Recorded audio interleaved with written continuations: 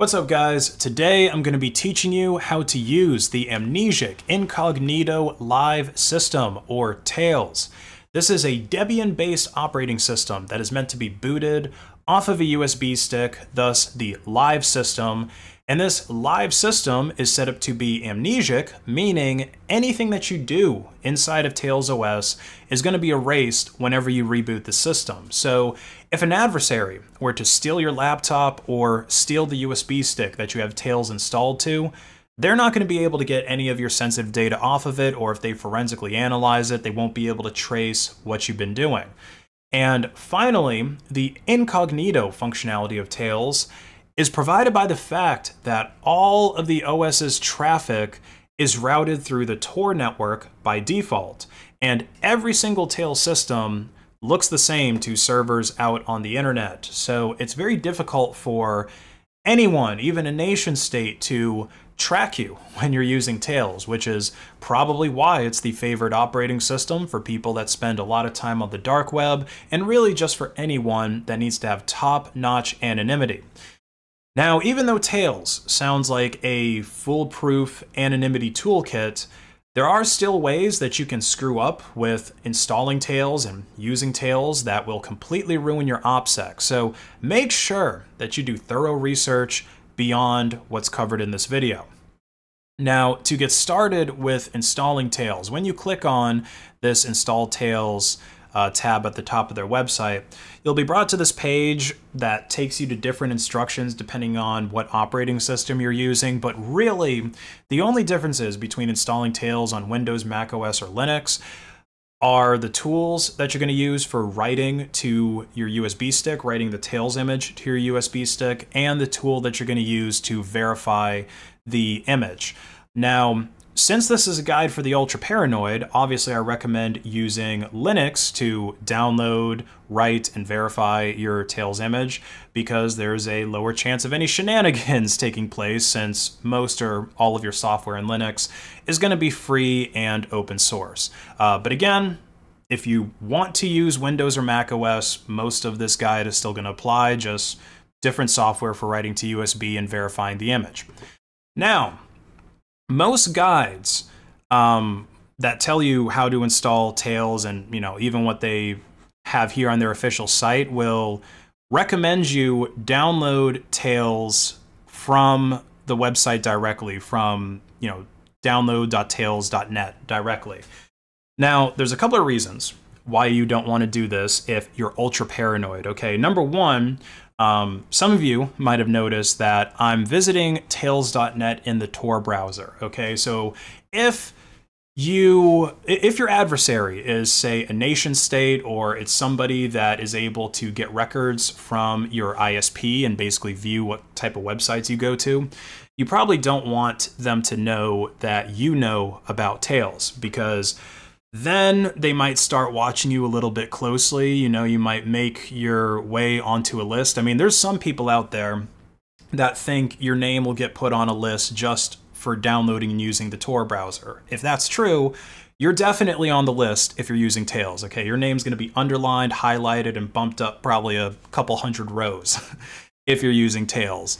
Um, so if you wanted to download it directly from the website, do it over Tor, but what I really recommend doing is downloading it over BitTorrent, um, you know, with a free and open source BitTorrent client like qBittorrent, and make sure when you're inside of your torrenting application that you're using a VPN or that you're using public Wi-Fi somewhere to mask your IP.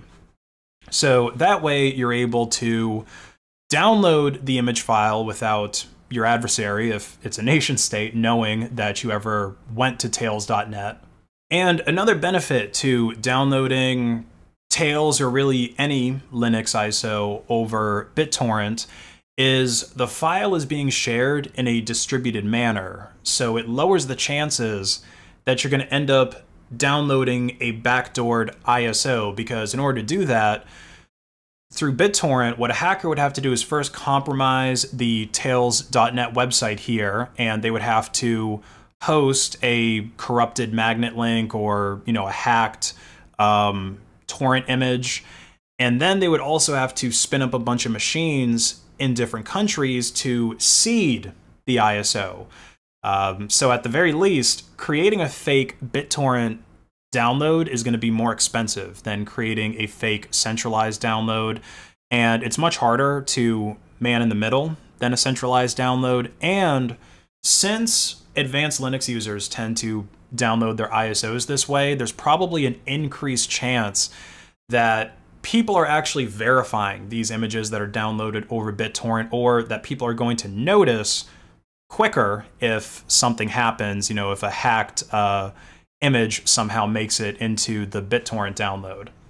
Now, once your files have downloaded, we need to do a verification on them to make sure that they didn't get corrupted or modified by your adversary in transit. If you downloaded the file with a torrent, then this is actually already done for you in a way with the info hash. But since this guide is for the ultra paranoid, we might as well do some additional verifications with PGP.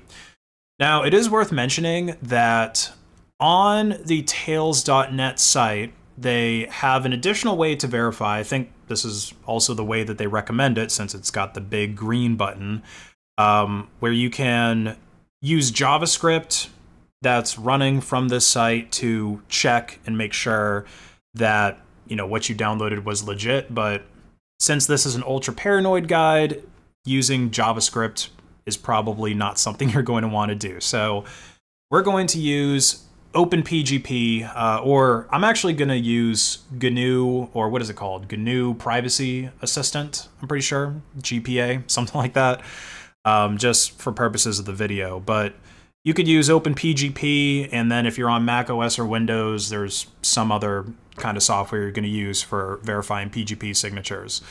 Um, so what you're going to need is the signing key. So we'll go ahead and download that. And the signature should actually be um, in the torrent if you downloaded it that way, but you're also going to need, yeah, this is the signature right here. So if you just downloaded the file through Tor in your browser or you didn't download it through a torrent, then you're going to also need to get that uh, signature.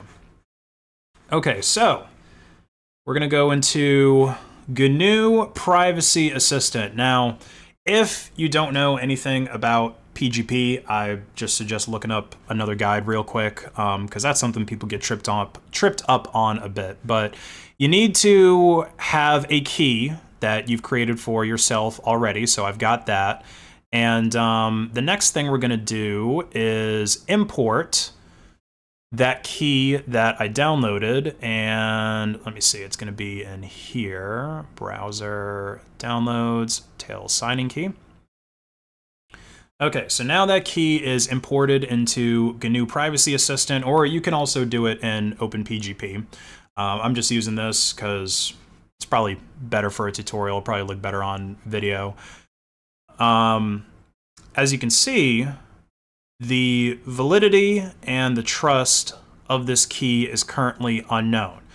Now, this is just a key file that we downloaded from this Tails.net website.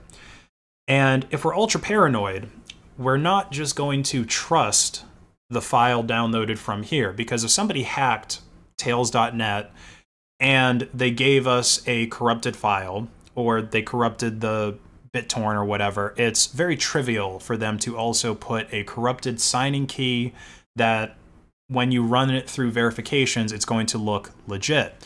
So we want to now go to a third party PGP key server that has the Tails developer key on it as well, and make sure that the key on this third party server matches the key that we just downloaded from here. Okay, so what we're going to want to do is, and this is um, pgp.mit.edu. It's one of the older or maybe oldest running um, key servers still in existence. And it's a very, very simple one. Um, it doesn't, I'm pretty sure it doesn't even require JavaScript because it's just HTML. So why don't we just go ahead and do that since, you know, we're ultra paranoid. And um, let's see, verify that it's just... Yeah, so it's just loading some HTML. Very basic website. So anyway, what we're going to want to do now is search for this key, and we should be able to just do Tails developer for now. Copy that, put that into the search string, and do the search. Oh, we also want to show PGP fingerprints for keys. Now, this is going to return multiple results, uh, but that's fine. I'll show you guys how to deal with that. And it's going to take a while since we're using Tor, but that's the cost of being ultra paranoid. okay, so like I said, we got multiple results, but the one that we're really looking for here is the offline long-term identity key. Sure enough, if we bring up GNU Privacy Assistant, we'll see same thing here in the username, Tails Developer, offline long-term identity key, and we can copy this fingerprint, which is basically like a summary. Uh, it's a unique sort of signature for this key. And we can see that it matches. So uh, we don't actually have to download and import this. Like just checking the fingerprint should be good enough. And so we can now be fairly certain that this key here is good because it's very unlikely that our adversary would be able to compromise both Tails.net and pgp.mit.edu. And you can also check this against additional key servers as well. Generally, people who develop software that's really popular will upload their keys to multiple key servers so that you can triple, quadruple, quintuple check however much you want to do to make yourself uh, feel comfortable that what you've got is legit. Okay, so now, since we believe that this key is good, we're going to go ahead and sign it with our key. We'll hit yes, and then we're going to have to put in the password for your private key.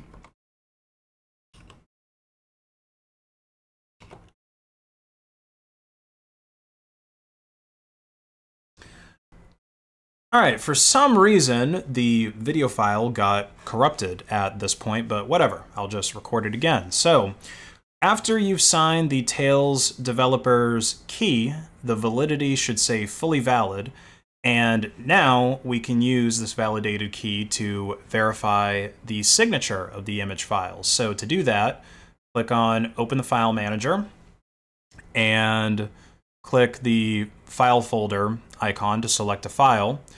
And you're going to want the img.sig file from the torrent, or if you downloaded it directly from the browser, you can grab that file uh, from the same area where you got the signature file, or where you got the signing key rather. So import that, and we want to select check signatures of selected file.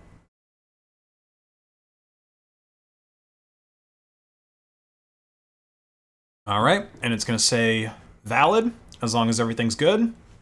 So now you can be certain that that Tails OS image file that you're going to write to your um, USB is valid. It hasn't been modified at all down to the byte level. So for writing to your USB, if you're on Linux, I recommend using DD because it's already going to be installed on your system.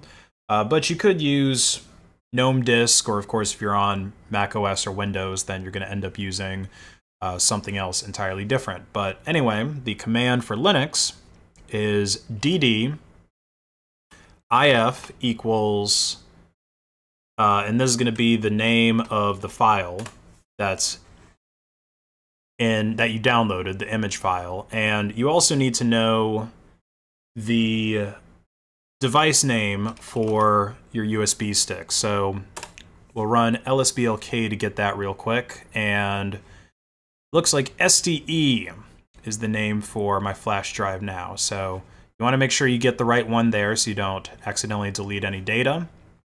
And command is going to be dd, I'll just clear my screen real quick, dd if equals tails image file of equals dev sde. Pretty sure that's what it said, right? Yep, SDE.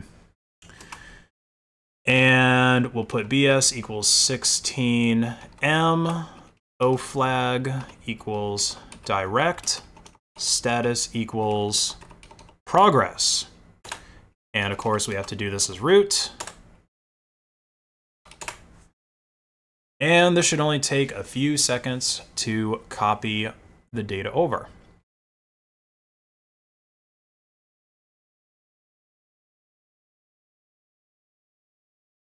Boom, and now our Tails USB is written, and if you wanted to boot into Tails on the same computer, you can just reboot and then uh, select it from the boot menu, or you can remove the USB stick and then put it in a different laptop to boot from Tails like I'm about to do.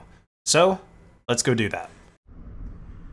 All right, hopefully there's enough lighting for this to look good. So as you can see, I've got an old ThinkPad here, a X301. Look at that Windows Vista sticker. My, my, this is an old laptop, but perfect candidate for running Tails OS. So I've got my Tails OS flash drive here, which is actually kind of cool. It's got both USB and USB-C, but we're going to be using USB because this old girl, she don't know nothing about that USB-C. So we're going to go ahead and put our USB drive in and power her on. I've just done some basic cleaning to this uh, laptop, but I haven't really done much testing to it other than that. Alright, so it looks like we were set to boot from USB by default, so we'll just go ahead and go right into Tails. Um, if it doesn't do that, you know, if it if you've got a laptop with another OS already on it, you have to just go into your BIOS settings and change that. Um, but yeah, I'm not even going to bother showing that because it's different depending on your uh, manufacturer.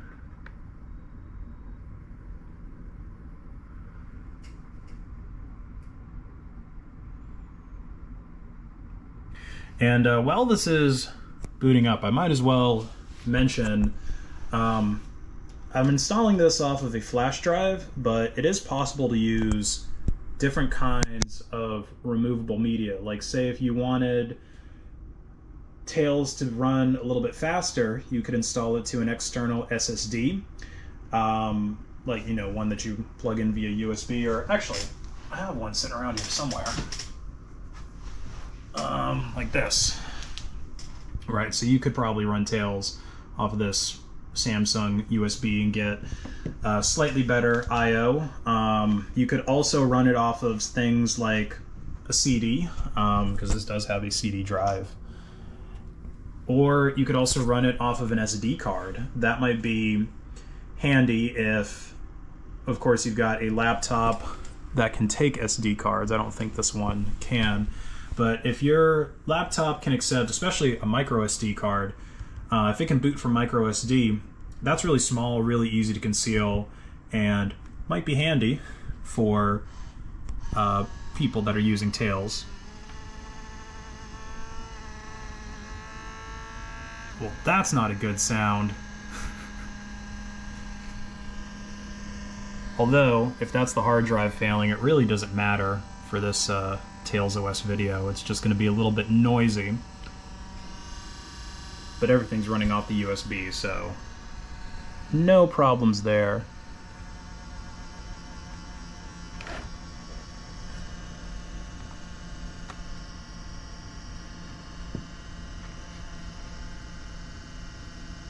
Almost sounds like there might be a CD in there.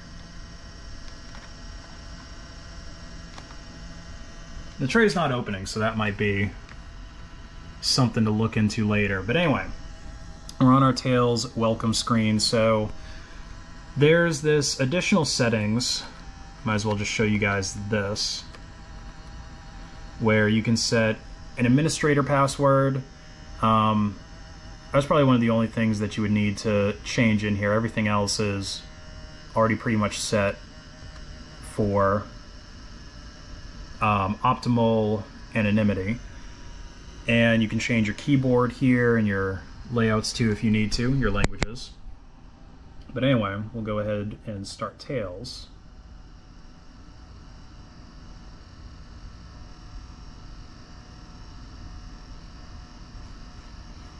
And this might take a couple of minutes on your computer, definitely a couple of minutes on this computer here.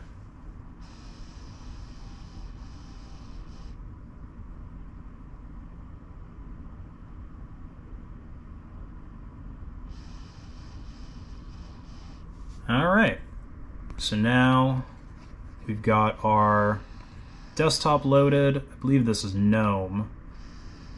Um, let's see.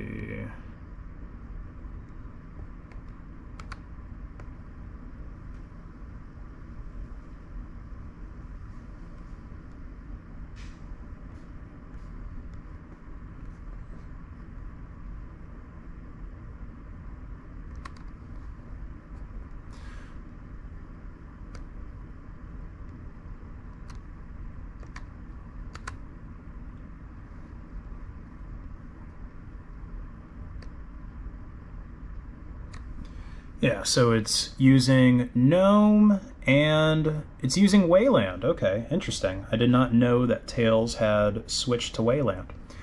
Um, so you can also see here in my system overview that this is just a Core 2 Duo uh, 1.4 gigahertz and it's only got 4 gigs of RAM. So this is obviously a very low spec system, but it is able to run Tails. And honestly, as far as um, very private, secure, and anonymous systems go, Tails is probably the only one you can really run on a computer like this. Um, I don't think you would have a good time running uh, Whonix KVM since that's going to require you to run a host OS and then also Whonix Workstation and the Whonix Gateway. If you're running Qubes OS on this, then you'd be running um, DOM zero, Whonix workstation, Whonix gateway, network VM, and a firewall VM. So yeah, you'd you'd have um, a pretty bad time. You know, this is not going to be able to run multiple virtual machines at once. But again, it can run Tails just fine. So that's kind of one benefit of uh, Tails over everybody else. Um, so let me go ahead and connect this to Wi-Fi real quick. And show you guys a couple other things.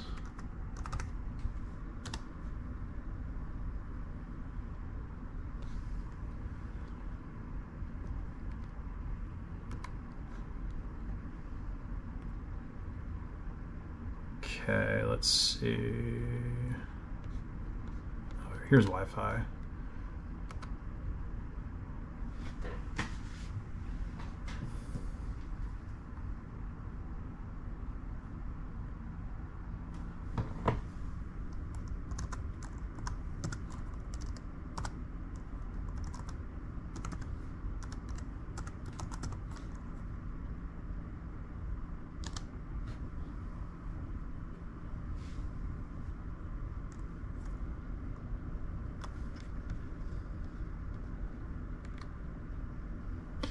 Okay, so now I'm connected to Wi-Fi and this Tor connection comes up. So um, this is another thing that you might diverge from depending on your um,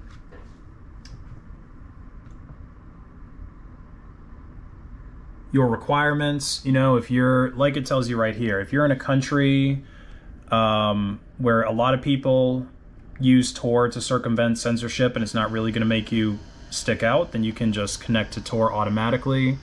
Um, and then you also have the option to configure a bridge here if you want, or you can just hide to your network that you're connecting to Tor and it's going to try to obfuscate the fact that you're even using Tor at all. So, you know, this might be what you'd want to use if you're ultra paranoid, but I'm just going to use this for now. And um, there's only a couple other things I'm going to show you within the OS because uh, obviously, depending on what you're doing, there's going to be a lot more research that you're going to need to do outside of this video for how to remain anonymous online. Uh, some things that I recommend, of course, this is going to have you using the Tor browser, and we're going to see if it already has a very secure connection. It might just take a little while for this old girl to start up a browser. I think I should definitely give her some more RAM because uh, let's see.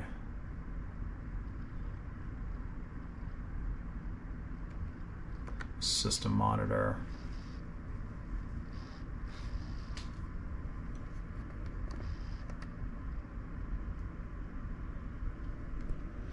Yeah, some of those, or some of those, one of those CPU cores getting hit kind of hard. Um, okay, so like this is an example here of um, some things that you'd want to change. So uh, you would, of course, have to change this each time you start Tails because that's how the OS is. It's amnesiac. Although there are some, there is a way to create persistent storage on your Tails USB stick, uh, but I'm not going to do that for now. Um, okay, so for onion services, we want to always use an onion site if we've got it available. And we want to have the safest setting.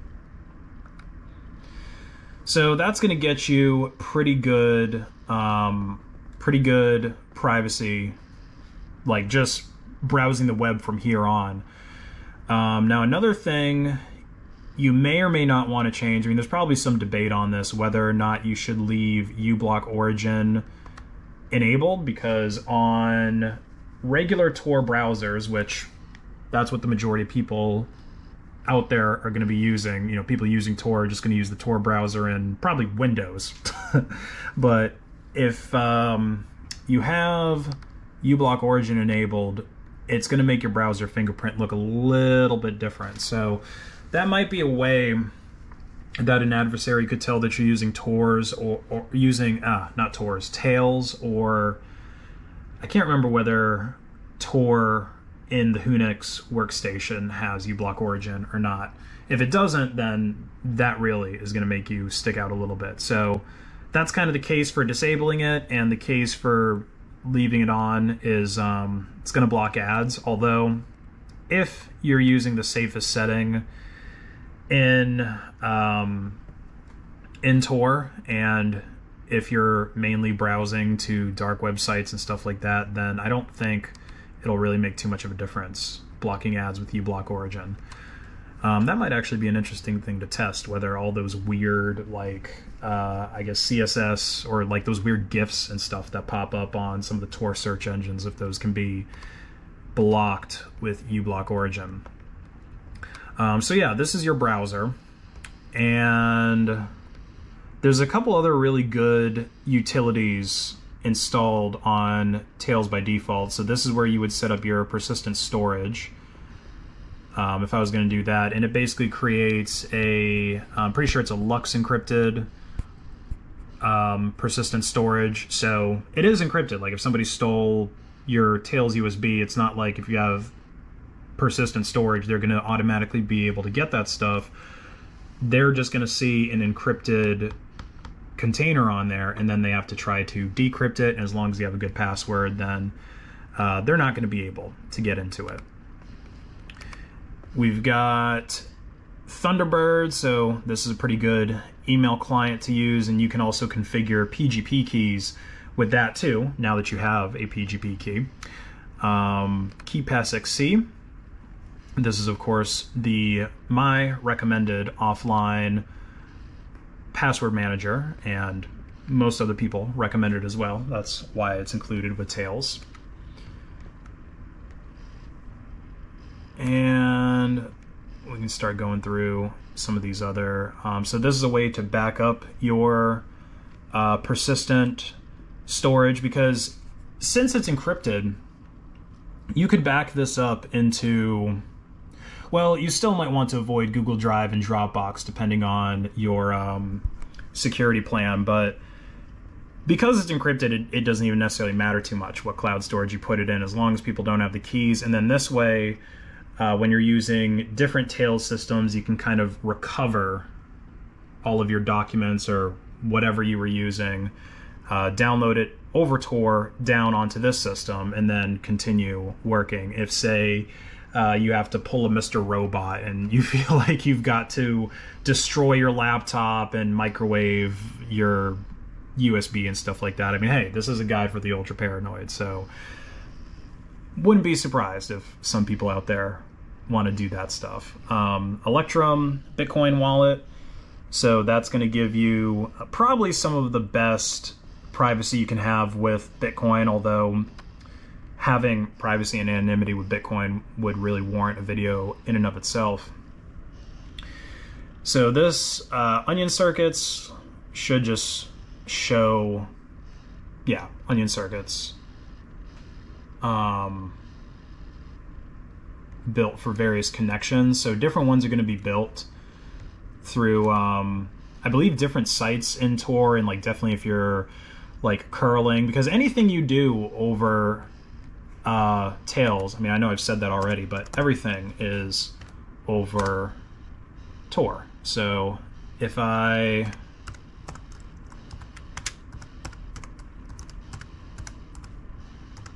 I do this to try to get my IP address, it gives me a random one. And uh, let's see. Yeah, so you see it builds different circuits for like different curl commands or different uh, connections to various things out there on the internet. And let's see. Um, so you've got image viewer. I, I also believe there's a thing on here to remove um, metadata. Yeah, here we go, a metadata cleaner. So this is an important thing to use if you're going to be sending files or especially videos or images to people because if you just take a picture with your cell phone, there's going to be metadata associated with that, possibly even your geolocation. And if you send that, it doesn't matter if you're using Tails. If your adversary intercepts that, they're going to have your real location. So this is definitely a program that you might end up using depending on what you're doing within Tails. Um, LibreOffice, so that's a good free and open source Office Suite. Um, there's a tool for unlocking Veracrypt containers. And, oh, Onion Share.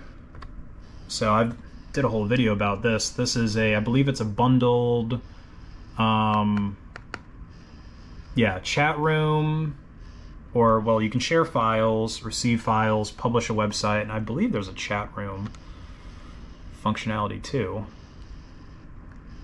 maybe they don't have that anymore. Um, so yeah, this this can let you. I mean, this can literally let you set up your own hidden service, like your own Tor site, and host it from this laptop or from whatever you want to run Tails off of. I mean, if you were gonna be hosting a real serious hidden service, you probably would want it on a server instead of a laptop. But hey, it's possible to do this. And let's see, let's maybe talk about one more application. Um, I don't think I saw a, a Monero wallet yet. Um, hmm.